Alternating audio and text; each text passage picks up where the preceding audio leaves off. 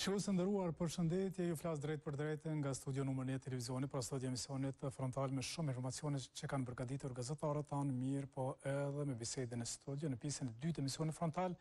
Do të flasim me kandidaten për deputete në parlamentin kroat, zonjën Ermina Lekaj Përlaskaj, me të do të flasim pra për garën e saj për të bërë sërish deputete e parlamentit të Kroacisë, Po ashtu do të flasim edhe për raportet mes Kosovës dhe Kroacisë.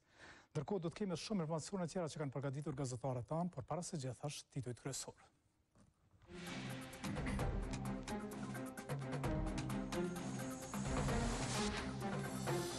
Pa asnjë paralajmërim, kryeministri Kurti i viziton një nga një komunat në veri, ai u shoqërua me numër të madh policësh.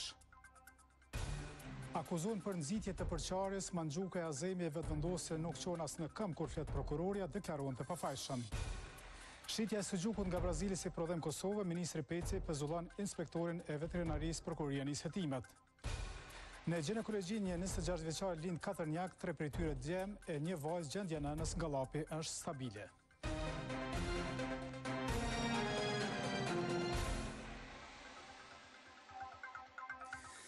Emisionin frontal për sot e nisim me një vizitë të paparalajmëruar që kryeministri i Republikës së Kosovës i ka bërë veriut të Kosovës, fillimisht ka vizituar kryetarin e Leposaviqit, i cili për kohë të gjatë ka qenë I ngujuar në, në këtë komunë e më pas ka vizituar edhe vendin ku ka rënë heroi Enver Zymberi e po ashtu edhe heroi tjetër i Kosovës nga Policia e Kosovës, Afrim Bunjaku, kurse më pas ka takuar edhe kryetarin e komunës së veriut të Mitrovicës, Erden Atiq. Sigurisht se kjo vizitë nuk ka qenë e paralajmëruar dhe Kurti dhe zyra e tij kanë selektuar vetëm disa media të caktuara për të përcjellur këtë vizitë.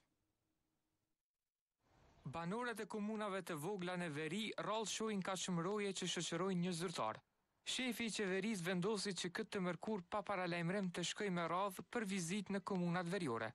Fillimisht Albin Kurti u ndal në Leposaviq. Atje të parin e qeverisë po e priste kryetari i komunës, Lulzim Hetemi. Larg syrit të kamerave, biseda mes bashkëpartiakëve u zhvillua me dyer të mbyllura. Pas më shumë se një ore takimi përfundoi e Kurti nuk qe i gatshëm për të folur para mediave. Për dallim prej tij para gazetarëve doli kryetari Lulzim Hetemi, i cili dha detaje nga takimi. I kemi edhe disa rrugë, për shembull tri fshatrat shqiptare në Cerajë, Koshtovë, Bistricë, Kështu që edhe qat projektin Anton Ibër, kompleksin e sportit, atë bazentin olimpik që e kishin lon gjysmë herët ish-kryetarët e komunës Leposaviqit, kështu që do të besoj që do të bëhet mirë. Nga këtu kryeqeveritari mori rrugë dyzet kilometra larg. Në Zubin Potok po e priste i pari i komunës Izmir Zeqiri, ndonëse shumë shkurt edhe ky takim u bë me dyer të mbyllura. Kur ai përfundoi, Kurti bëri homazhe te pllaka përkujtimore e heroit të Kosovës, policit të vrarë, Enver Zymberi, ku edhe vendosi lule. Kryeministri njoftoi se para se të vinte këtu, është ndalur edhe te vendi ku është vrarë polici tjetër, Afrim Bunjaku. Vizituam edhe përmendoren e Enver Zymberit, që tani do t'i mbushte katërdhjetë e pesë vjet, por është vrarë. Siç e dimë, në korrik të dy mijë e njëmbëdhjetës, po ashtu e vizituam edhe vendin ku ishte organizuar ajo prita kriminale ku është vrarë Afrim Bunjaku më njëzet e katër shtator të vitit të kaluar nga paramilitarët dhe terroristët që tash fshihen në Serbi. Jam këtu për të treguar se Qeveria e Kosovës është një qeveri demokratike, që këtu nuk është si superstrukturë për popullatën, por infrastrukturë për të drejtat dhe mirëqenien e tyre. Pas Zubin Potokut Kurti kohën e kishte ndarë edhe për kryetarin e Mitrovicës së Veriut, Erden Atiq. Për qëllimin e krejt këtyre vizitave ai u deklarua pas takimit me të. Me kryetarin Erden Atiq bashkëbiseduam për mbarëvajtjen e punëve këtu, mbështetje si qeveri për këtë komunë dhe për të gjitha shërbimet që u jepen qytetarëve, pa dallim. Gjatë gjithë kohës shefin e tyre po e shoqëronin ministrat Xhelal Sveçla dhe Elbert Krasniqi. E kryetari i Leposaviqit gjatë takimit që ka pasur me kryeministrin e Republikës së Kosovës Albin Kurti kanë folur edhe për regjistrimin e popullsisë, për çka kryetari Lulzim Hetemi ka thënë se presin që ky proces i regjistrimit të popullsisë të shkojë mirë, ndonëse ka paralajmëruar sfida. Këtë regjistrimit unë jam i bindun që nuk do të ketë problem se qytetart ajo është për të mirën e qytetarit ku jena sot sa qytetar për shembull i ka komuna sa qytetar i ka çdo vend punt ose me i dit edhe pronat edhe komuna është ma mirë banesat regjistrohen na ne kemi një problem qetash me banesa që janë gjo njerzt që kanë qenë të pabanushme të reja jon hi edhe jon mush nuk e di ma as kush u hi a për shembull qytetari serb i Leposaviqit me fëmi banon nëpër podrume me qira po ndoshta është pak po mu ma merr menja që edhe kjo do të kalon siç kanë kalu normal që kem sfida Po duhet me luftue duhet me u munue që të jem të bashkuem une ashtu e shoh si qytetar i Leposaviqit. E ministrja e Drejtësisë, Albulena Haxhiu përmes llogarisë së saj në Facebook ka bërë të ditur se institucioni që ajo e drejton ka nisur veprimet ligjore për konfiskimin e pasurisë së kryeterroristit Millan Radoiçiq. Agjencia ka filluar identifikimin e pasurive të përmendura në urdhrin ndalues përfundimtar me masë të përkohshme, duke përfshirë vilën e cila konsiderohet të ketë qenë e kryekriminalit Millan Radoiçiq tek liqeni i Ujmanit në Zubin Potok dhe pasuri tjera në përputhje me Ligjin për Administrimin e Pasurisë së Sekuestruar dhe të Konfiskuar si dhe urdhrin e gjykatës, ka shkruar Haxhiu në rrjetin e saj Facebook.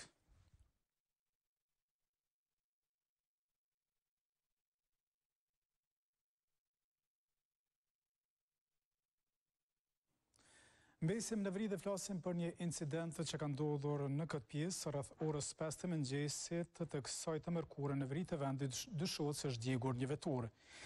E njëjta është në posedim të një hetuesi policor të nacionalitetit serb, këtë ka konfirmuar zëvendësdrejtori për rajonin e veriut, Veton Elshani. Sipas tij dëme tjera nuk ka pasur, ndërkohë hetimet për zbardhjen e rastit kanë nisur tashmë.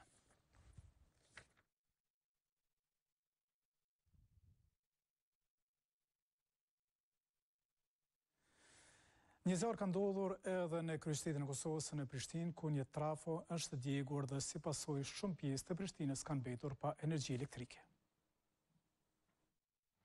Edhe pas shumë ore tymi zor që ndalej. Ishte një trafo elektrike që u përfshi nga flakët këtë të mërkurë në afërsi të stadiumit Fadil Vokrri në Prishtinë. Pas një pune intensive tek nënstacioni elektrik Prishtina tre ishin zjarrfikësit që arritën ta shuanin atë. E këtë intervenim këta e quajtën mjaft të vështirë. Reagimi ka qenë i shpejtë mirëpo problemi është se zjarri i cili ka ndodhur këtu është bukur problematik për faktin se gjindet në pjesën e poshtme në podrum dhe është i mbuluar sipër me pllaka. Tani po e shihni edhe vetë se është në përfundim e sipër dhe gjithçka është gati drejt fundit. Si shkak i këtij zjarri shumë lagje në Prishtinë mbetën pa rrymë e arsyeja sipas KEDS nuk dihet ende. Ju informojmë se para rreth një ore ka shpërthyer një zjarr në nënstacionin Prishtina tre. Me ç'rast një numër i caktuar i konsumatorëve nuk kanë rrymë, aktualisht po punohet në pastrimin e hapësirave të shkaktuara nga zjarri, ndërkaq nuk dihet akoma se çka e shkaktoi atë. Ekipet e KEDS gjatë ditës ishin në vendin e ngjarjes në tentim për ta kthyer gjendjen në normalitet.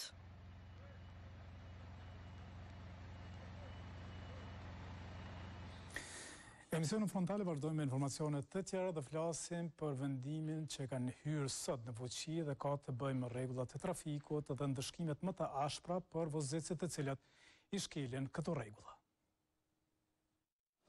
Magjistralja Prishtinë-Ferizaj është pika e parë e ndalimit të tyre.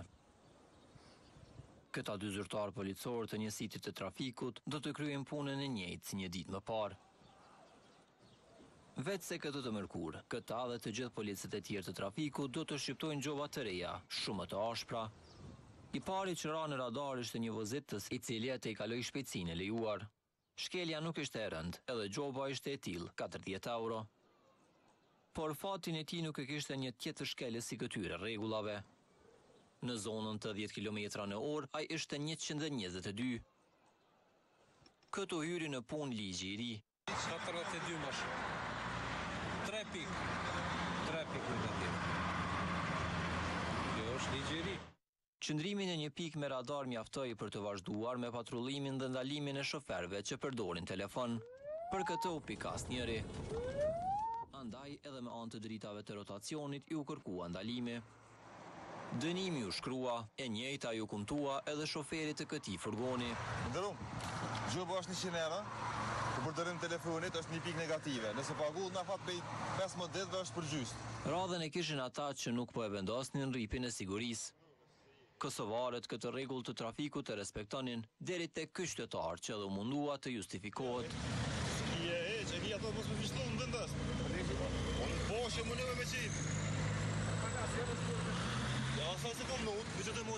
Gjoba që iu shqiptua ishte fiks si ajo e ligjit të ri, njëqind e pesëdhjetë euro. Gjatë ndaljes së mjeteve u identifikua dhe ky kamion që nuk kishte fare tabela. Ashtu, i padoganuar, po barte materiale ndërtimore. Andaj të njëjtit, iu urdhërua të përcillej vetura e Policisë së Kosovës deri tek terminali doganor. Aty e tutje, nuk ishin më punë ata, por dogana. Lidhur me këto rregulla të reja të trafikut, kapiteni i njësitit të trafikut në rajonin e Prishtinës, Sylejman Halili, tregoi që qytetarët janë informuar mjaftueshëm dhe nuk do të ketë tolerime. Mediave elektronike na kena tentu të informohen qytetarë për këto kundërvajtje, domethënë për ndëshkimin, për vlerën e këtyre kundërvajtjeve. Ne shpresojmë se ato kanë qenë mjaftueshëm. Sipas ligjit të ri dënimi me gjobë për personat që nuk e vënë rripin e sigurisë do të jetë njëqind e pesëdhjetë euro. Nëse vozitësi i automjetit mban në prehër dikë tjetër, përfshirë edhe fëmijët, gjoba është katërqind euro. Shqiptimin e pesë pikëve negative dhe ndalim të vozitjes së automjetit për gjashtë muaj. Tejkalimi në vijë të plotë dënohet me dyqind euro, shqiptim i dy pikëve negative dhe tre muaj ndalim të drejtimit të automjetit. Nëse një person përdor telefonin gjatë vozitjes, i njëjti do të dënohet me njëqind euro gjobë dhe do t'i shqiptohet një pikë negative.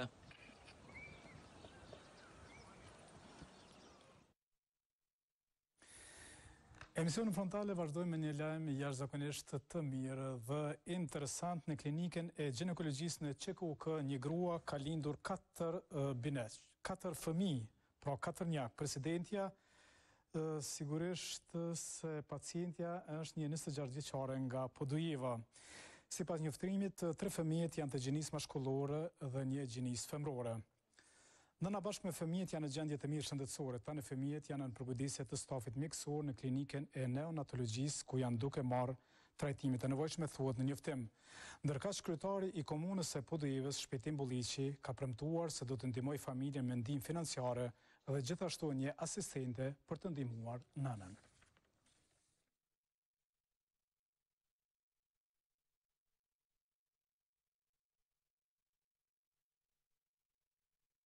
Ndërrojmë temë dhe informacionet dhe flasim për një skandal pra për mishin, ku është e përfshirë sigurisht edhe ministria që udhëhiqet nga ministri Faton Peci. Për të kuptuar se për çka është fjala, ndiqni kronikën. Pozita e tij është zëdhënës i partisë më të madhe në vend, por punën më të vogël që e bën Arlind Manxhuka është ajo e zëdhënësit të partisë. E tëra çfarë mund të bëjë Arlind Manxhuka është të nxisë përçarje dhe urrejtje dhe pikërisht për këtë vepër ai është i ngarkuar dhe sot ka dalur para prokurorit për çka është deklaruar i pafajshëm ndonëse nuk ka denjuar të ngritet në këmbë kur i është kërkuar fjala. Për njërin është hera e parë teksa tjetri është i mësuar me procese gjyqësore. Zëdhënësi i Lëvizjes Vetëvendosje Arlind Manxhuka dhe aktivisti Egzon Azemi u paraqitën në sallë si bashkërisht të akuzuar për nxitje të përçarjes dhe mosdurimit. Megjithatë, kaq respekt nuk kanë edhe për prokuroren pasi vendosën të mos ngriten në këmbë për pretendimet e saj.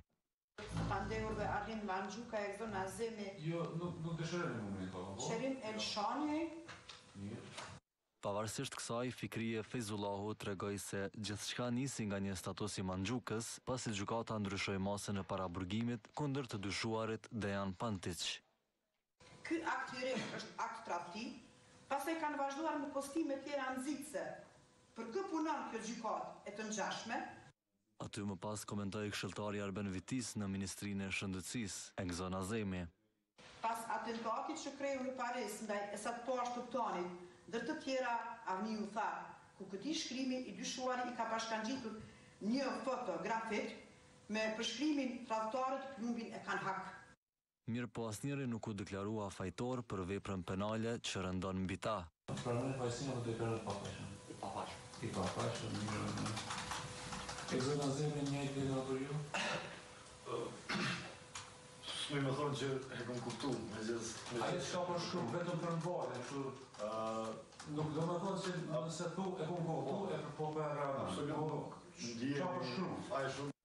Madje shprehën dëshirën që këtij procesi t'i jepet një epilog sa më parë. Një prej të akuzuarve nuk jeton në Kosovë, kështu që mundësisht bile edhe seanca me caktu bllok. Përveç këtyre dyve të akuzuar për kanosje janë edhe Qërim Elshani dhe Edi Zenelaj që gjithashtu u deklaruan të pafajshëm.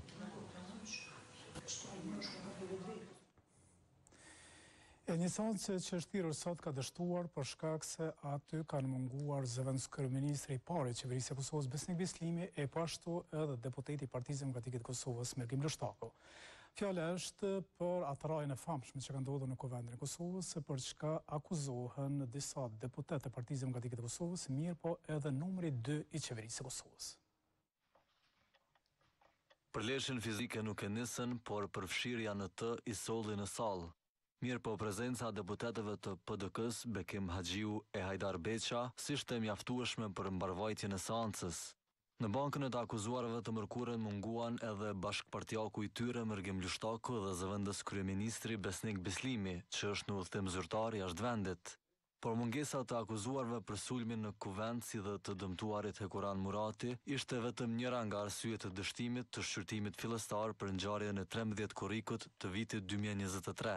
Duke e parë shkelje shumë serioze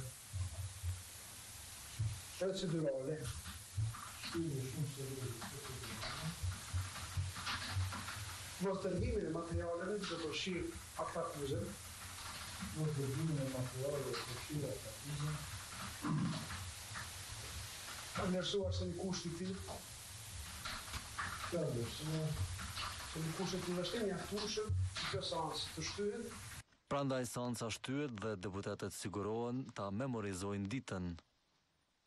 Sidoqoftë, Beqa e Haxhiu nuk i ndalën kritikat për ata që nuk u paraqitën në gjykatoren e Themelores në Prishtinë. Te e kryqit punën e dinorit nuk mundën mu aftë.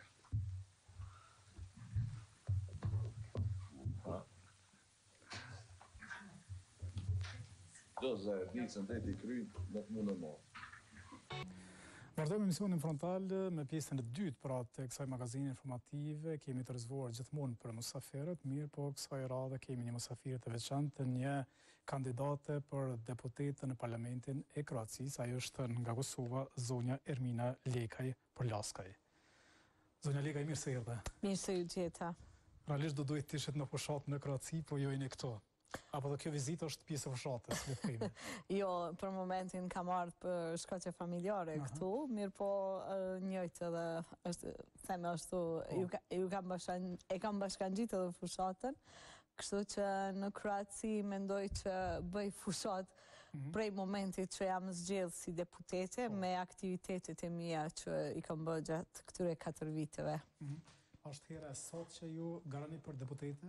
Është hera e katërt që garoj po, për deputete. Dhe keni qenë tri herë të tjera deputete? Apo... Po, kam qenë tri herë tjera. Në 2015 për të parën herë jam zgjedh deputete. Kam qenë dhjetë muj dhe pastaj kemi pas zgjedhjet e jashtëzakonshme, ku e kam mbajt një mandat të plotë dhe tash një mandat plotë dhe prap garoj në këtë fazë për po, deputet.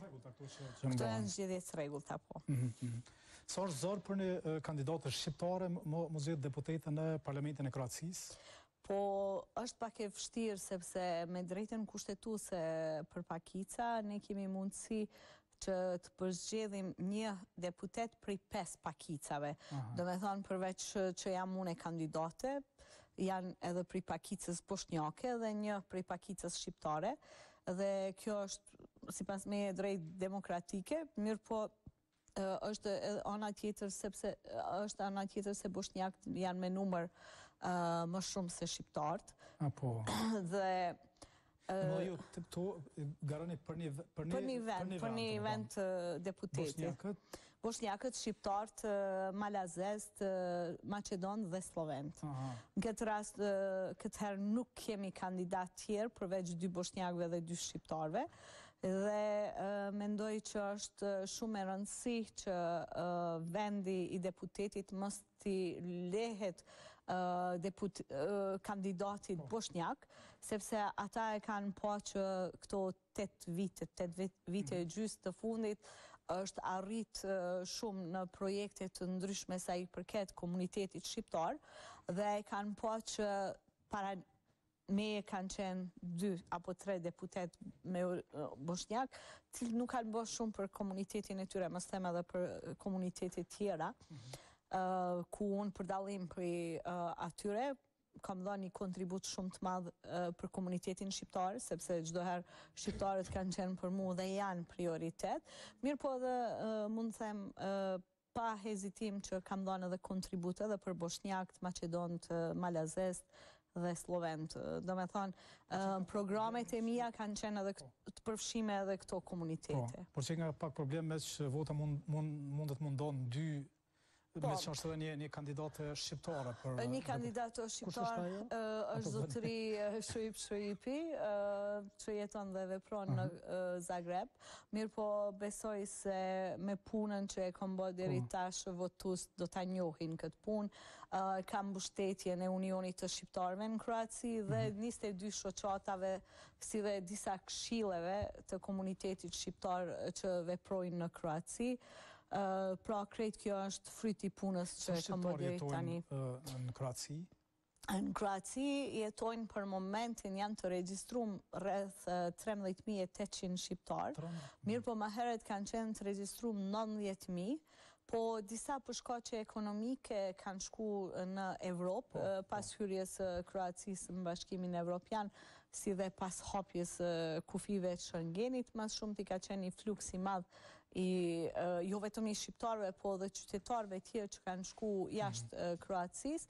Kështu që në momentin kur është bë regjistrimi i fundit, është pa ajo zvoglimi i numrit, po duhet ta kemi parasysh se kemi edhe një numër të qytetarëve që nuk janë deklaru që i përkasin ndonjë nacionaliteti po, që ata i përkasin. Por që mund të jenë votus tuaj. Për shembull. Që mund të jenë edhe votues të mi. Sa po. duhet, sa vota duhet me i pas ma s'paku për me u bo deputete? Uh, nuk është e përcaktu me vota, domethënë, unë muj me pas prej dytit një vot më tepër, për shembull, zgjedhjet e fundit i kam pas 800 vota më tepër se uh, kandidati po. i dytë, kështu që mvarësisht, uh, sa ma shumë votus dalin, ajo është aq më e mirë, Dhe atëherë është mundësia që të vazhdojmë kontinuitetin që e kam fillu para sa kohë. Kush do t'ju votojë juve?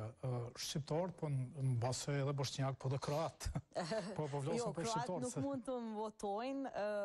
Shqiptarët e boshnjakët po, mirëpo duhet ta kemi parasysh se si ne që nuk i kemi pranu deputetët që kanë qenë para meje, që i kanë ah. përfaqësu boshnjakët dhe Mund të them me plot përgjegjësi se njerëzit tonë shqiptarët nuk i kanë votu, ashtu pres edhe unë nga pala boshnjake që nuk, nuk do të më votojnë edhe pse kam raporte të mira me disa shoqata boshnjake sepse i mbështes në projektet e tyre.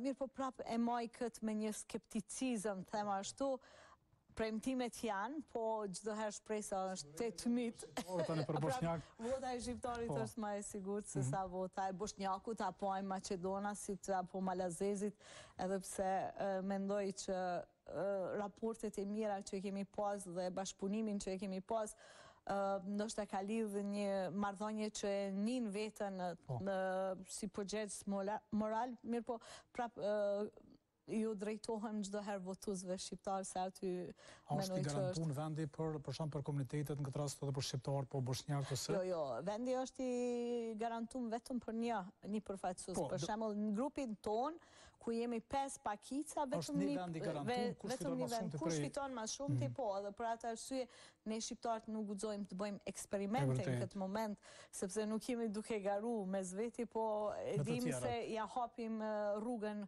në këtë rast boshnjakut. Qysh u dasht me garu dy, pse mos me që me që po flitet për një për një vend deputetit. Unë e pranoj këto si një pjesë të demokracisë, po, mirëpo. po.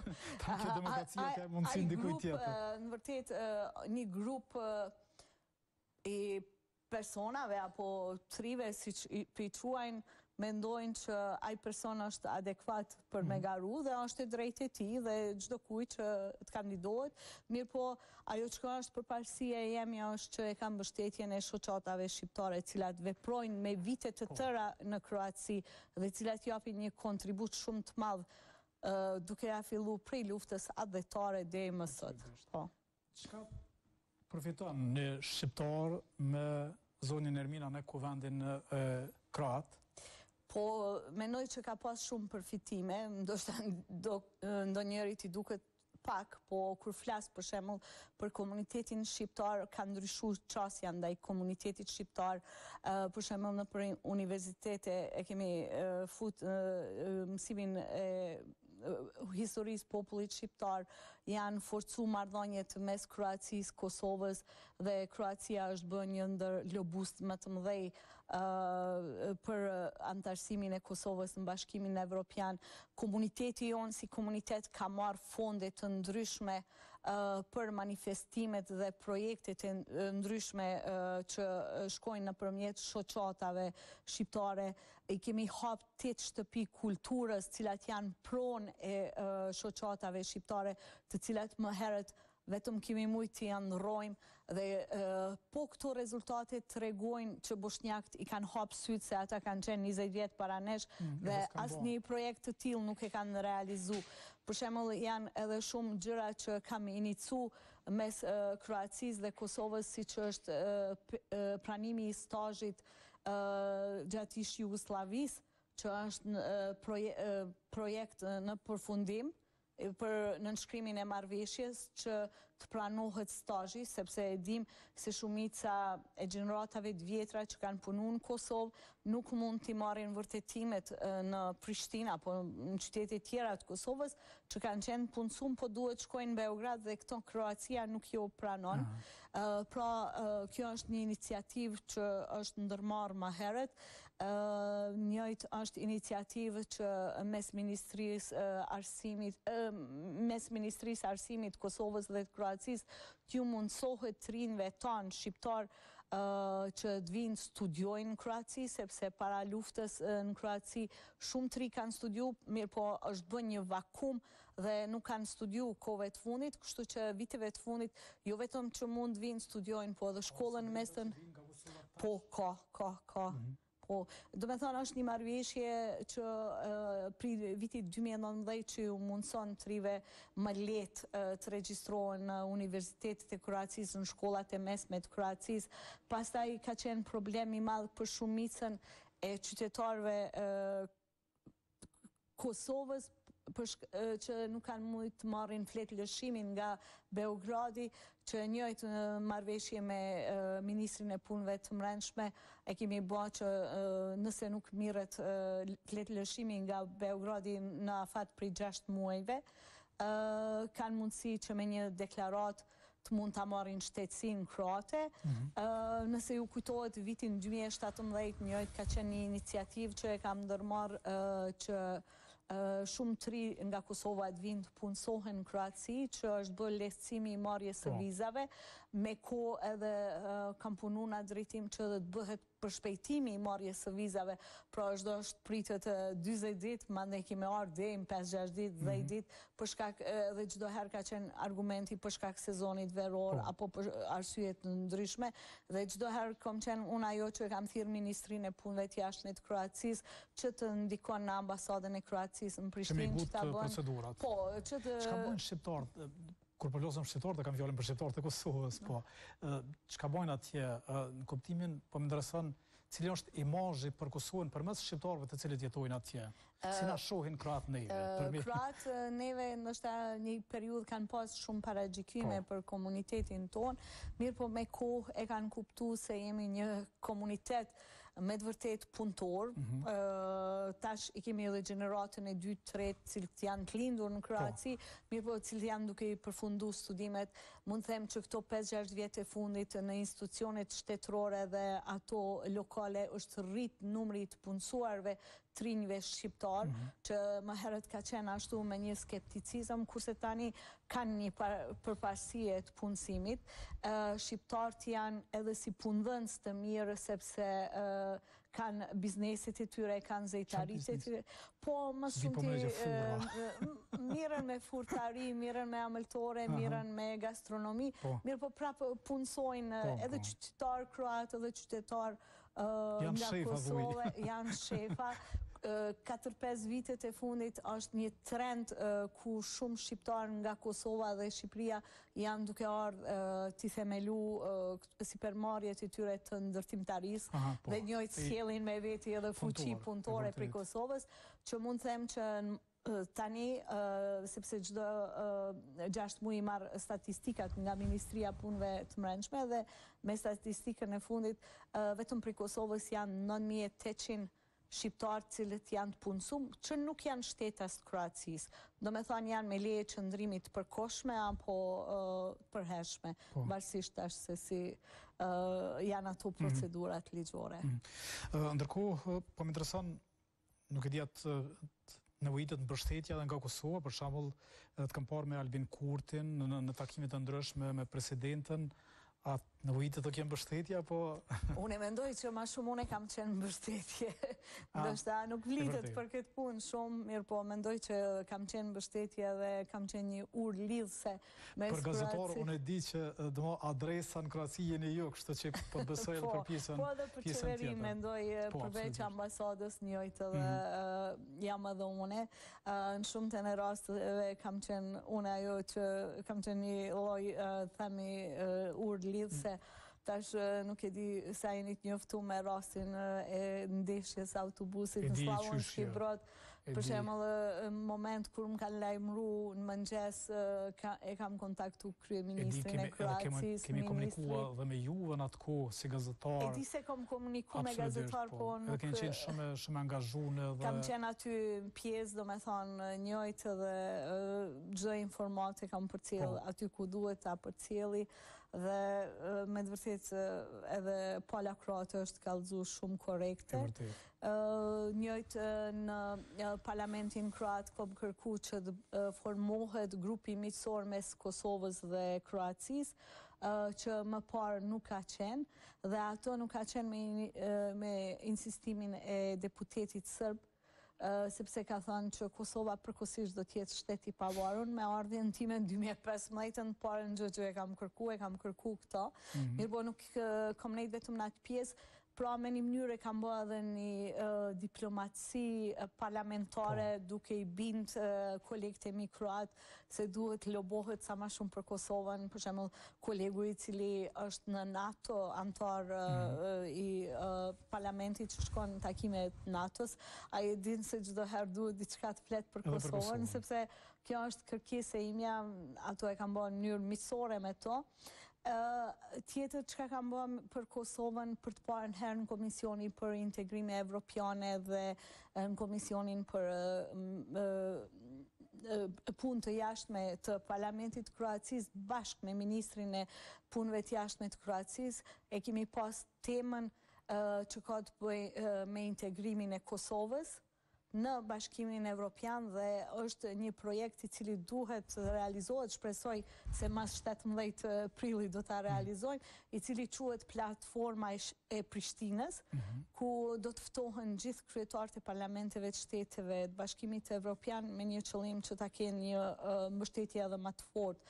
Për shembull, njëjtë tërë kohën kam qenë në kontakt edhe me kolegun i cili lobon për Kosovën që të futet në Këshillin e Bashkimit Evropian. Kush lobon kundër Kosovës në parlamentin e Kroacisë? Mund të them me plot përgjegjësi se në këtë komision kur i kam ftu gjithë edhe pozita dhe opozita kanë qenë prezent përfaqësuesit e tyre dhe gjithë kanë qenë pro, domethonë, gjithë e kanë mbështet Kosovën, ajo që ka qenë, si kusht them ashtu, për hir të tre deputetëve sërbë, cilët nuk kanë marrë pjesë aty, ka qenë që kjo mos të transmitohet nëpërmjet mediave, edhe pse e kom incizimin,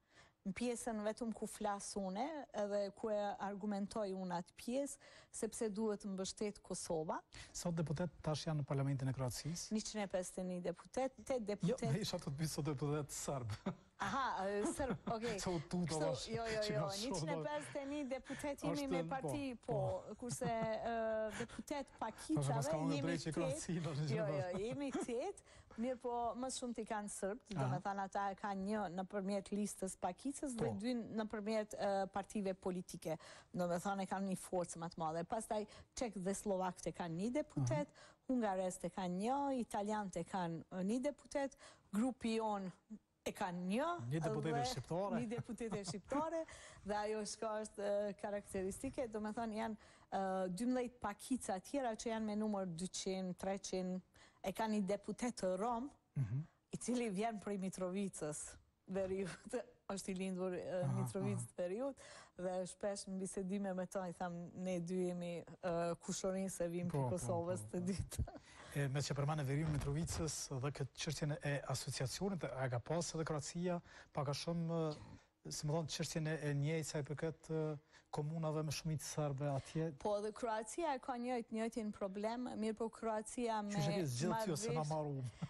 me pas luftës me marrëveshjen e Erdutit, ashtu po. quhet marrëveshja, më së shumti ju ka dhonë serbëve një autonomi kulturore Po. Mirëpo aty kemi përfitu edhe pakica tjera po. nëpërmjet serbëve. Jo vetëm një komunitet. Jo vetëm një komunitet dhe uh, në bisedime me Ministrin e Punëve të Jashtme dhe me një koleg deputet uh, ka qenë propozim që uh, të shkon shembulli i Kroacisë. Në fund del që Kosova më shumë ju jep drejta sesa Kroacia. Uh, kjo është gjo Kështu që s'iu konvenon serbëve modeli i Kroacisë? Po, që ta marrin modelin e Kroacisë.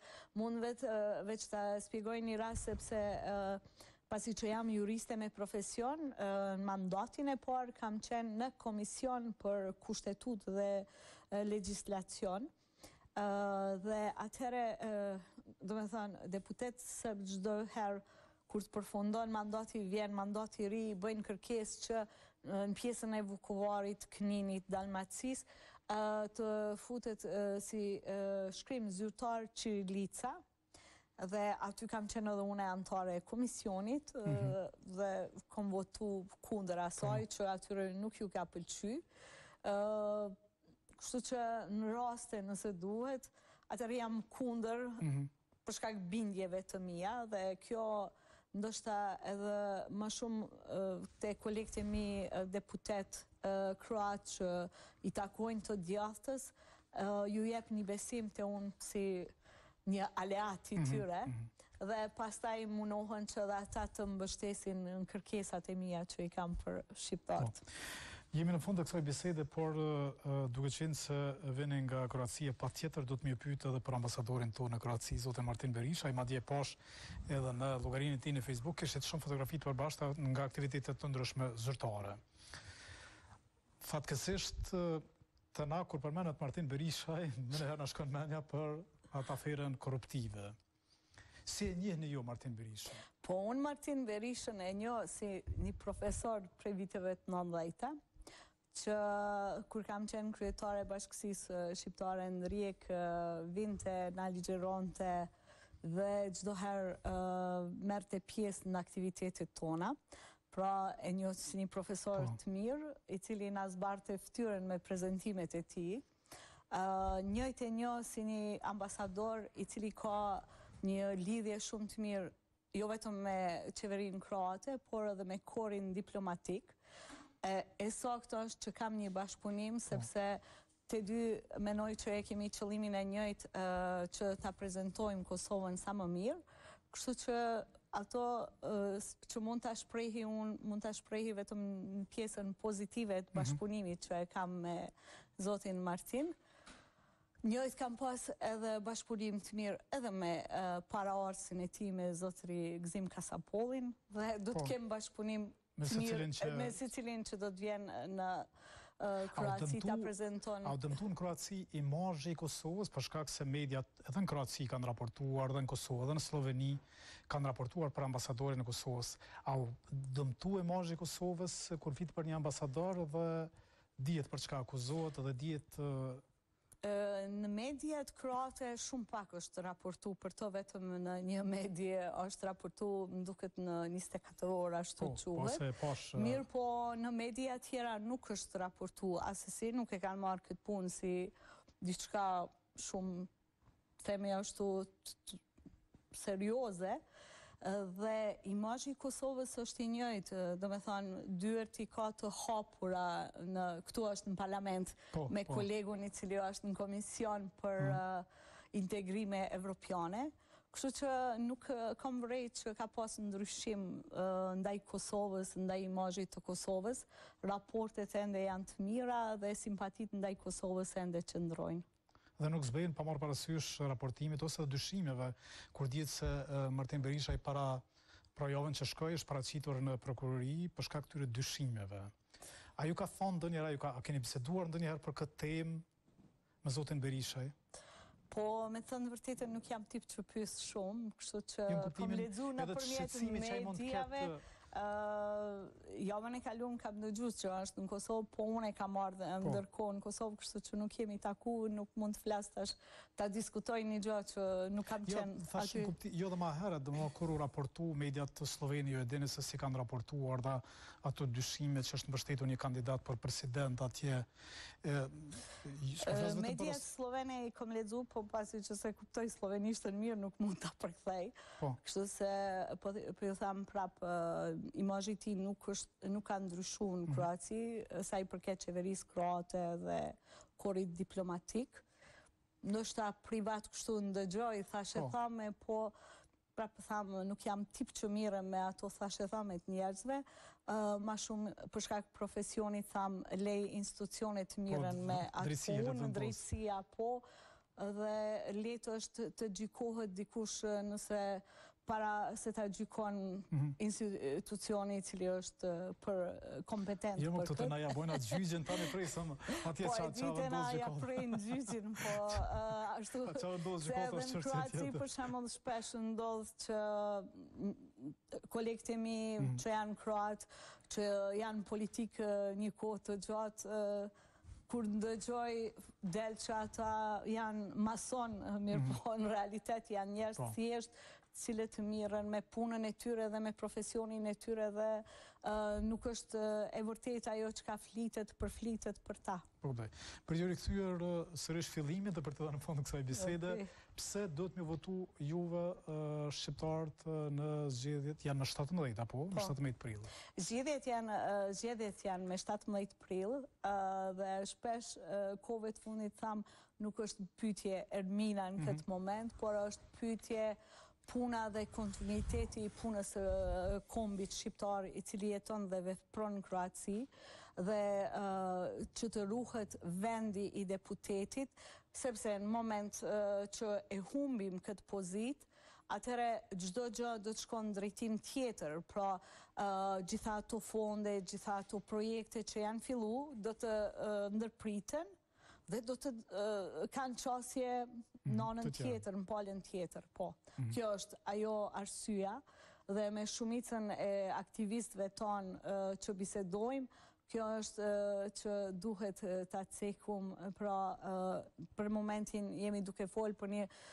veprimtari më madhore që ka të bëjë me selinë apo vendin e deputetit që t'i realizojmë projektet që i kimi nis dhe t'i përfundojmë me faqe të bardhë. Mhm.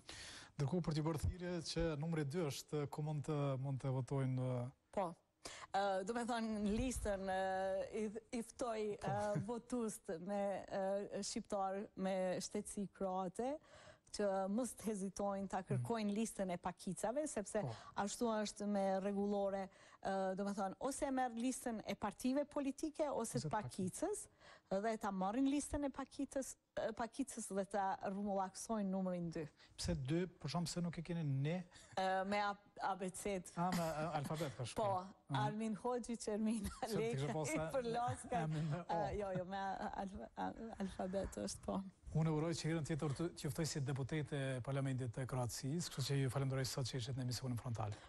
Ju falënderoj për ftesën dhe shpresoj se do të vij. Po patjetër. Faleminderit. Faleminderit juve të nderuar shikues që keni qëndruar me emisionin Frontal. Me këtë bisedë po japim fund për sot. Ju kujtoj se pas pak ju pret Shpendi me emisionin e tij Kanape në orën 19:30 është edicioni qendror i lajmeve, kurse në kohë reale ju mund të informoheni përmes Gazetës Express.